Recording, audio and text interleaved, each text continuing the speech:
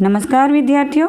पिछले लेक्चर में हमने हिंदी की कविता सबकी दुनिया एक इसकी चर्चा की थी। अब इस लेक्चर में हम आगे इसके अभ्यास की चर्चा करेंगे।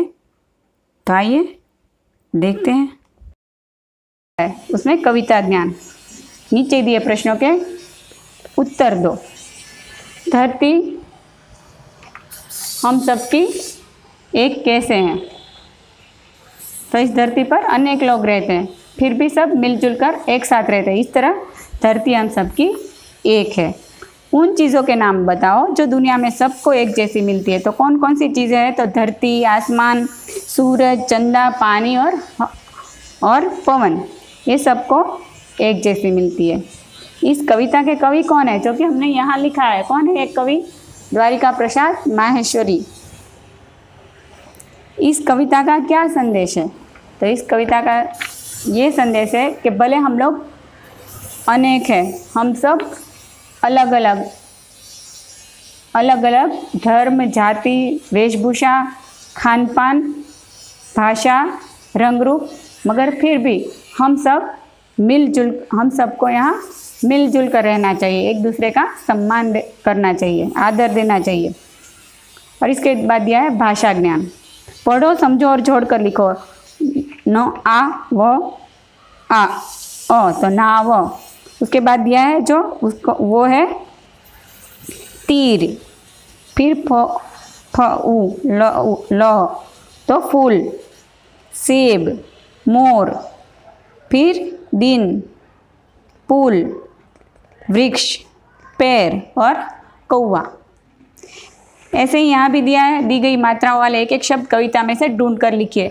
तो ये आपका गृह कार्य है, आपका होमवर्क है जो कि आपको ये कविता में से खोज कर लिखने हैं। चित्र पहचानो और उसका दूसरा नाम चुनकर लिखो। तो ये भी आप चुनकर लिख सकते हो, क्योंकि यहाँ धरती दिया है तो चुनकर आप क्या लिखोगे? ज़मीन। सूरज तो सूर्य, आसमान आकाश, चाँद चंद्रमा। तो ये आपको, ये भी आप लिख सकते हैं अपने से ही। फिर पढ़ो, समझो और समान मात्रा वाले शब्दों पर गोला लगाओ। तो इसके उत्तर भी आप अपने से करेंगे और इसके उत्तर मैं आपको पीडीएफ फ़ाइल में भेज दूँगी, जिसमें से आप क्रॉस चेक कर सकते हो और आप फिर दिया है, पढ़ो, समझो और समान मात्रा वाले शब्दों पर गोला लगाओ। तो जैसे कि धरती दिया है तो उसके साथ उसकी मात्रा कौन सी एक जैसी लग रही है आपको, माला, पवन या बकरी? तो बकरी तो धरती, बकरी। सूरज, फूल, सिटी, पुल। तो इसमें कौन सी मात्रा एक जैसी है? सूरज की, सूरज और फूल। फिर आसमान, सेब, अनार सब की तो ये इसमें कौन सी मात्रा एक सी है? तो आपको लिखनी है, आसमान और अनार। ऐसे ही दूसरी दो मात्राएँ वो अपने से आप कर लेना। फिर उसके बाद दिया है, समान तुक वाले शब्द बनाओ। जैसे कि यहाँ ध लिखा है तो उसके बाद रति तो धरती, भरती करती, चरती, ऐसे ही सहन, बहन, दहन और रहन, ऐसे आपको लिखना है। इसके बाद सोचो और बोलो, ये जो कि आपको सूरज से हमें क्या क्या मिलता है, कक्षा में चर्चा करो। आप या तो लिख सकते हो या चर्चा कर सकते हो अपने दोस्तों के साथ, इसके बारे में। खेल खेल में, सूरज के चित्र में रंग भरो। तो ये आपको यही पाठ्यपुस्तक में ही इसमें कलर भर लेना है, सूरज में। तो बस, आज के लिए इतना ही।